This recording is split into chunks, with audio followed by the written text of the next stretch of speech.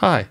So I recently had the situation in Cubase where I had a large project with a large number of tracks and I wanted to trim the beginning of the project. Now obviously I could do that the old fashioned way, select all the tracks, make a cut at the beginning and then move all the remaining tracks to the left. But I figured there must be a better way to do this, so I had a look at the range tool in Cubase. And I think that tool in Cubase and what you can do with it can be very useful for all of you. So let's go.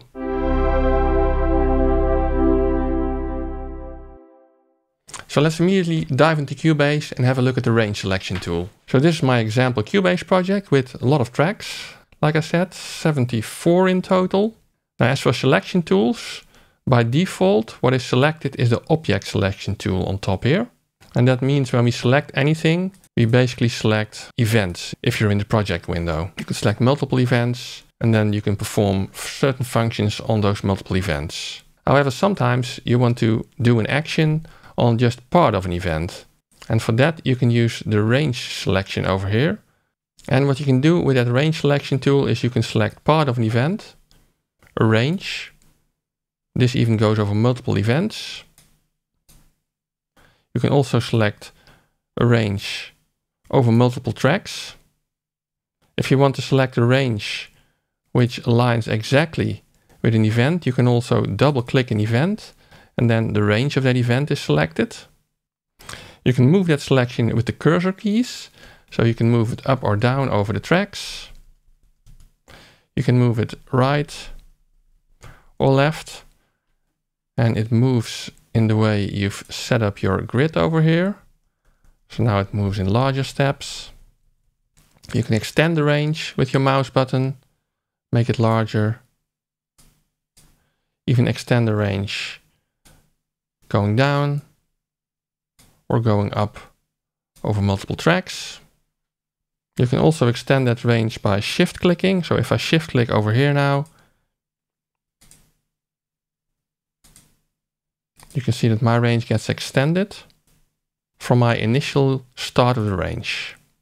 You can also deselect a certain track from the range by control clicking.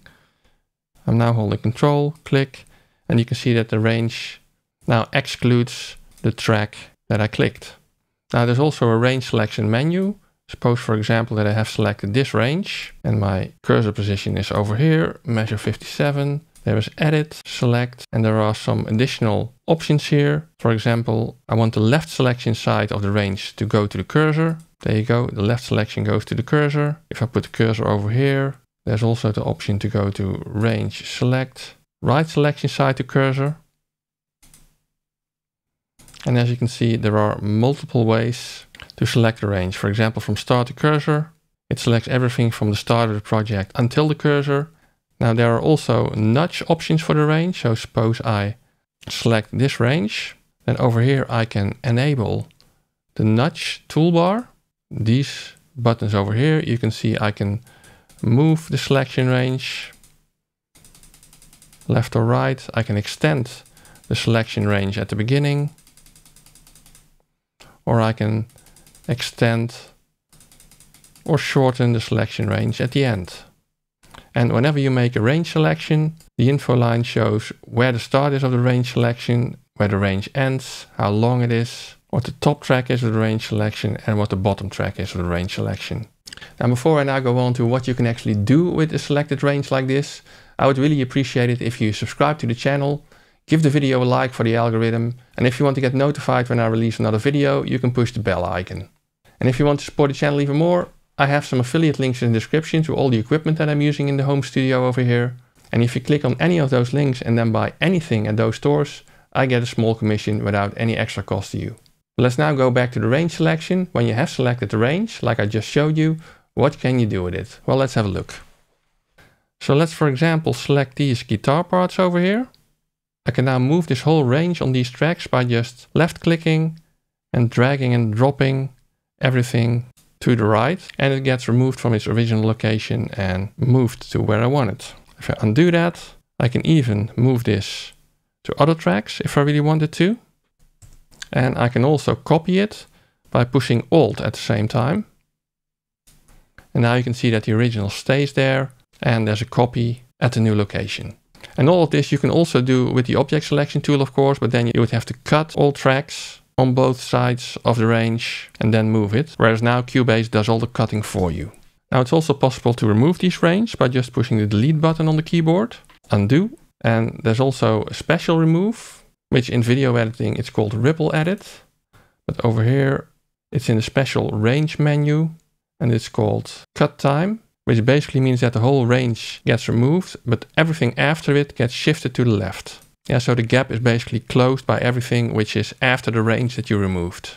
Now, since I did a cut, I can also paste it somewhere. For example, if I select range over here and I select range paste time, it will be pasted at the location that I put the new range in. But I can also say edit range paste time at origin and then it pastes it at the original location.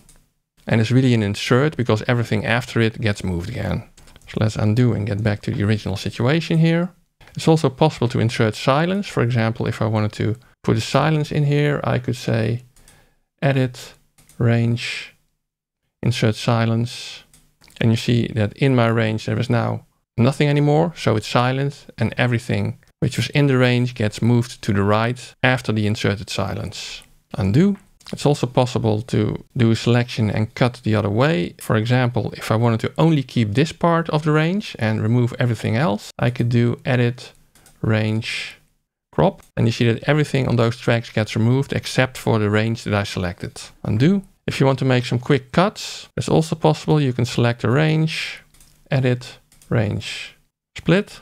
And you can see that where I had my selection range, the events have now been split up. If you just wanted to have more events on these tracks, for example. Undo. Now there's some other functionality in Cubase related to ranges, which allows you to put the locators at the range location. And for that you can go to Preferences, Cycle follows range selection.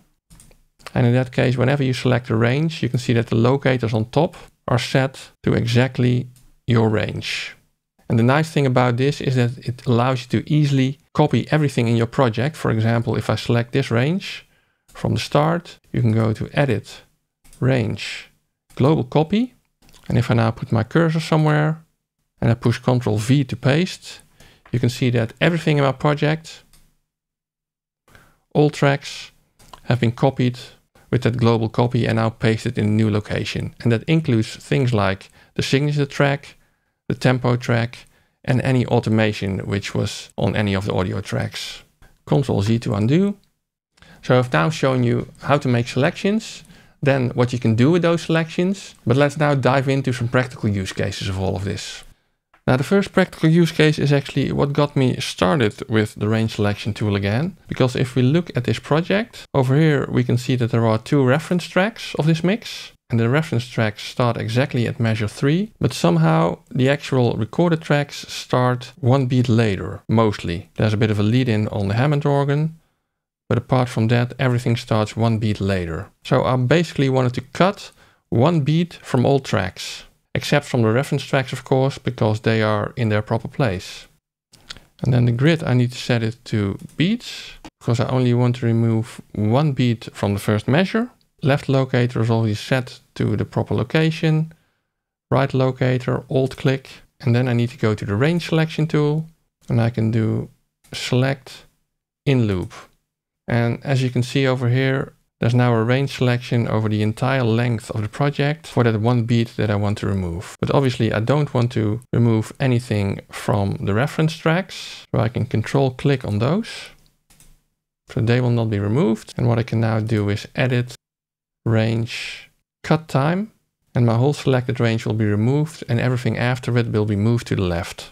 And as you can see over here, now all the other tracks start at measure 3 as well, which is exactly what I wanted. Now, for the second practical use, I can zoom out again to get the whole project in view. And imagine that I wanted to remove this whole middle section over here of the song. So I can basically do the same thing. I can make the selection over here. In this case, I'm not using the locators, but I'm just going to use the multiple selection, shift click on the last track that I want to select. And you see there's now also a whole selection range over the whole project.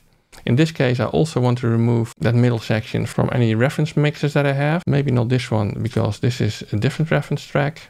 And again, I can do the same trick, edit, range, cut time, and that whole section is basically removed from our project. Now I know there's another way you can do this easily in Cubase and that's by using the arranger track. But if you're interested in that, then let me know and I will make a separate video on that as well. So let me undo this. And my third practical use case would be that if you're scoring a movie, so let's add a video track. Put it on top and let's imagine that you got some nice video footage from your movie director and that you've made like a whole arrangement for the whole movie and let's imagine that he delivered another version of the movie or video clip with some extended footage in there in which he doesn't need any music. So somewhere in the video clip there needs to be a break. Well again in that case you can select the range where you want the additional silence inserted. You can select that whole range and you can insert silence moving everything else to the right so that it's still in sync with the rest of the video clip or movie. Yeah, so these are some of the use cases that I could come up with for actually using this tooling. And like I said, the first one is actually the use case that led me to dive into the range selection tooling a little bit deeper. And I think it's quite worthwhile. So if you found some other ways to use the range selection tool and the editing possibilities, please let me know in the comments so that myself and other people that watch this video can also learn from that. Much appreciated. And also very much related to my last example on editing music for a movie or video footage. In that case, it's also very important that you can manipulate tempo in Cubase and I have a separate video about all the additional details that Cubase 12 provides for editing tempo in the project. So have a look at that, enjoy and see you soon.